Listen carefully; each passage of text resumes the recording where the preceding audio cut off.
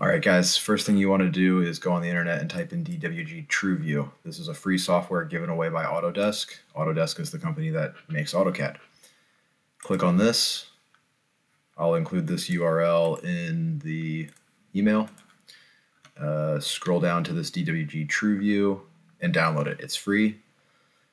After you have that program installed, you'll be looking at this and uh, you'll have to restart your computer after you install it.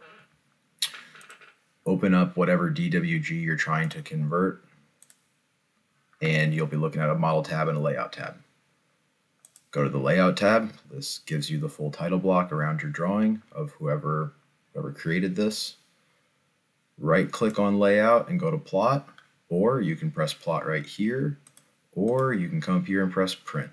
Any one of those three options will bring you to the plot dialog box. Change this to your choice of Bluebeam PDF or DWG to PDF. It will produce the same thing. Change this to grayscale and press OK. It'll finish plotting, ask you where you want to save it, and then automatically open it in your default PDF viewer, which for most of us should be Bluebeam. And now you have a PDF of the drawing. Simple as that.